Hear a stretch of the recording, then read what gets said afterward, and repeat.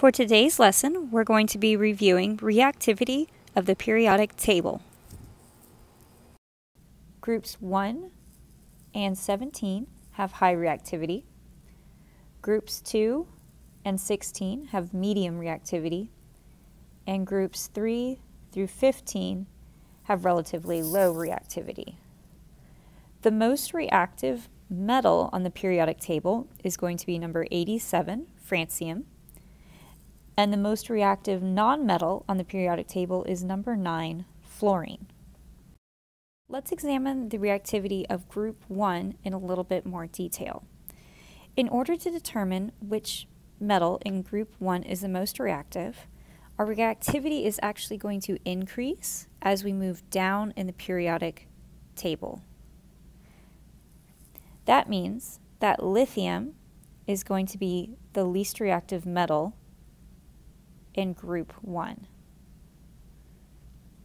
Moving down, sodium is going to be slightly more reactive.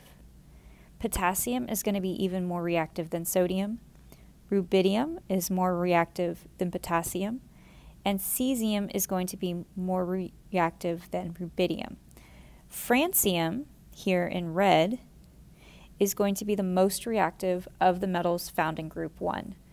Notice that I'm not including hydrogen because hydrogen is not a metal. Hydrogen is a nonmetal. Now let's take a look at group 17. Group 17's most reactive nonmetal is going to be fluorine.